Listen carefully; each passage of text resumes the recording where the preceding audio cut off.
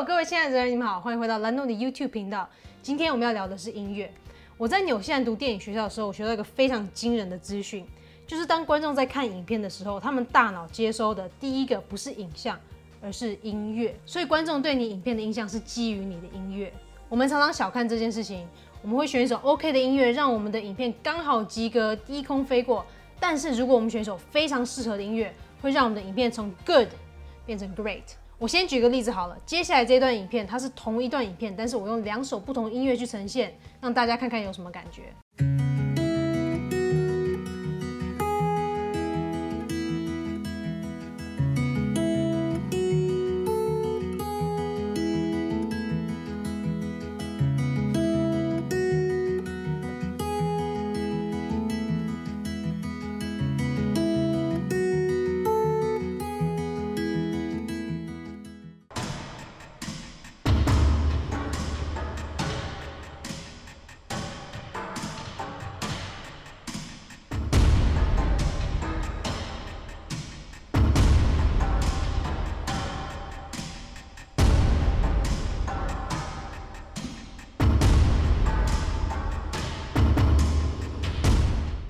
我相信大家现在都看得出来了。说到这边，就有可能会有人说：“好的音乐当然有啊，可是如果请周杰伦来帮我配的话，会超贵，而且不是每一个人都请得起周杰伦。”对，不是每个人都请得起周杰伦，但是在网络上面还是有方法能够让你找到很棒的音乐，而且你不会破产。讲到付费这件事情，一定有人会跳出来说：“那我就免费的音乐就好了。”相信我，我从一开始做影片到现在，我也用过非常多免费的音乐。但是免费音乐用起来就真的不一样，它的重复性很高，它没有层次感，而且大家都听得出来。所以我开始做 YouTube 之后，我只要有预算，我就开始使用付费的音乐。那我最近在使用的这个音乐库叫做 Artlist，那 Artlist 它是一个一次买断的一个付费方式，那一次就是付我一九九美金，那折合台币大概是六千块。它的音乐使用权限非常大，可以从 FB、IG、YouTube 广播节目、电玩游戏，甚至是你要拍广告给客户都可以用。一九九美金这笔钱现在看起来可能有点大，但是如果你今天是要单买一首歌，你上一些音乐网站、一些音乐库，你要买音乐的话，你一首歌可能就要一两千块，甚至更多。那 Arles 它呢，它是能够让你买断一次六千块，然后一整年让你吃到饱。我们打开 Arles 第一眼就会发现它的设计非常的漂亮，非常的简约，而且它会使用大量的形象图片来营造它这整个网站的氛围。那我们会看到，在它形象图片下面就会有一首一首的歌。那这个就是他们所谓的 spotlight，或者是他们的 new，他们新进来的音乐，他们每个礼拜都会放新的音乐。下面这些就是他们的精选，就是可能他们会觉得大家会比较喜欢的一些音乐。我们现在看一下它的版面设计好了，最左边这边呢，就是它的一些封面相片，就是就是专辑封面啦。那它在右边一点，就是它音乐的名字跟呃音乐家或者是歌手。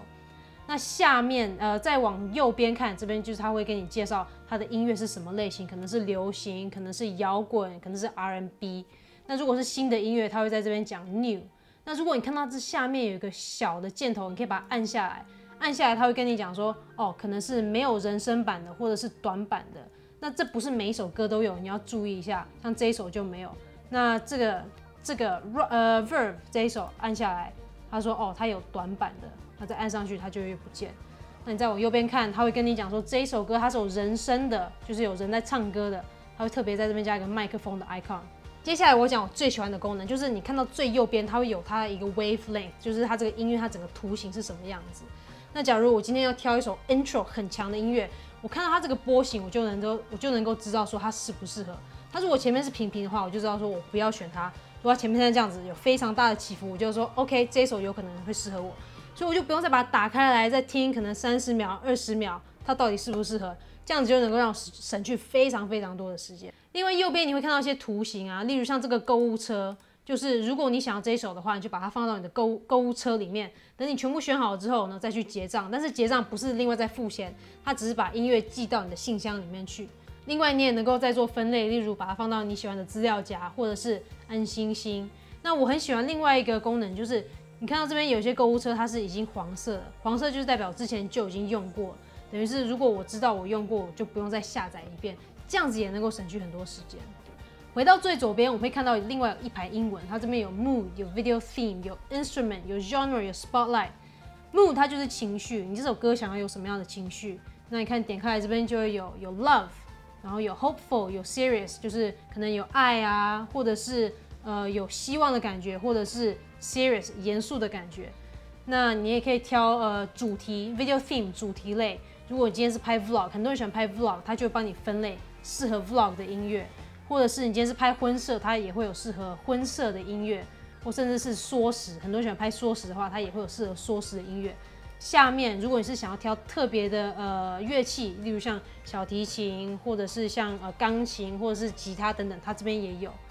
那下面还有再分类，说是 genre，genre 就是音乐的种类，音乐的类型，它可能会有摇滚啊，有蓝调，或者是有 R&B 等等。那如果我今天想要挑一首特别的音乐，例如呃我想要摇滚，那我的乐器我希望是能够有电吉他，那它的情绪我希望是有 love 有爱的感觉。它这上面就会出现说，这是我的一些 hashtag，这是一些我想要的关键字，它就会帮你找出来适合你的音乐，是不是超厉害的？我目前使用 arlis 已经有两个月了，那在这使用期间，他们其实有更新过他们的网站，那在更新过后有出现一些小问题，例如有一次，呃，不是很多次，我在进去网站的时候，它会它网站会一直跳来跳去，跳来跳去，我没有办法选我的音乐，就有点像是发疯的那种感觉。那他们其实有个线上服务。我那时候就跟线上服务讲说，我的网站有出现这样的问题，你们能够帮我修理一下吗？他们说好，没有问题。那过两三天之后，我再来更新这个网站，就完全没有问题。所以他们的线上服务也非常的棒。那当然，这个影片后面我有帮大家争取到一些好康，